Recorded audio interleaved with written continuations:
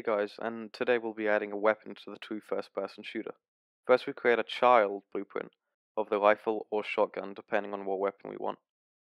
Then we rename it to the weapon that we're trying to make, and then add it to its own folder.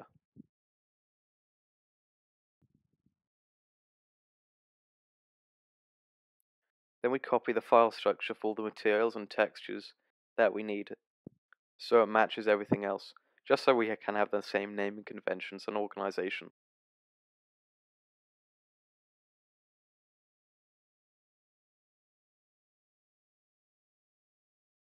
Here you can see me copying all the materials and textures over from the asset pack that I got this off.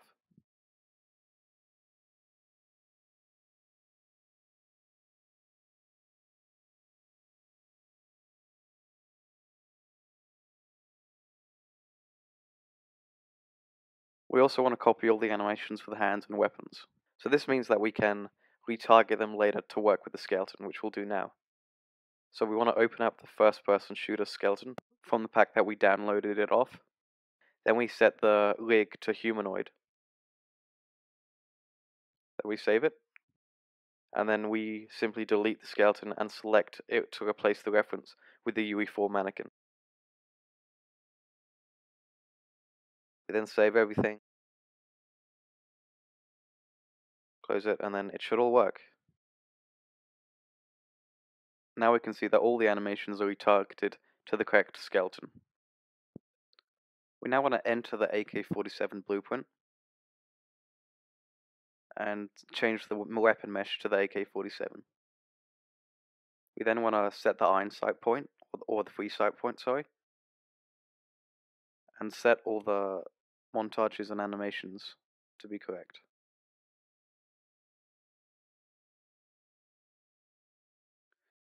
So the way it works in the true first-person shooters is that uh, there's actually two types of reloads for weapons.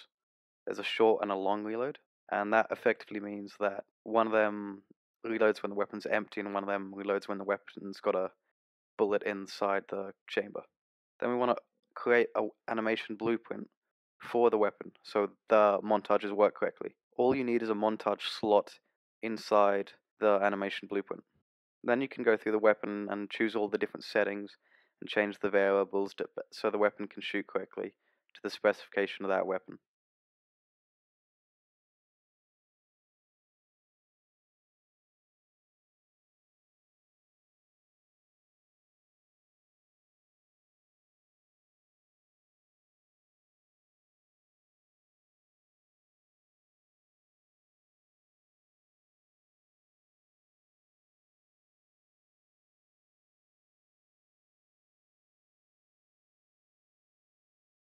Then you want to add sockets to the weapon itself.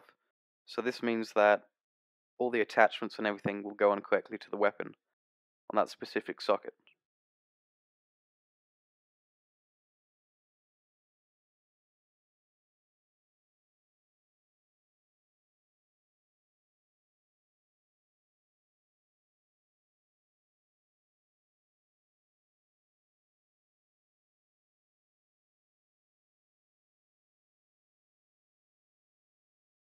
Now you can drop the weapon into the scene and pick it up to see how it plays. Now I can see that the IK and aiming down sight position is slightly off, so I'll make a modi modification to that.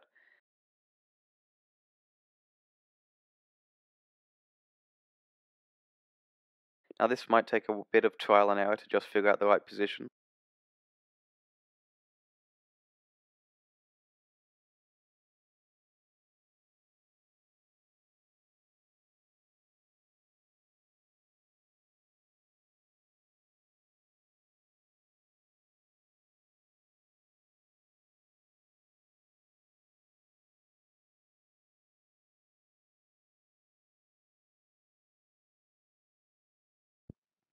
You may need to modify a couple of the montage's blend in and blend out timings, just so the animation is slightly smoother.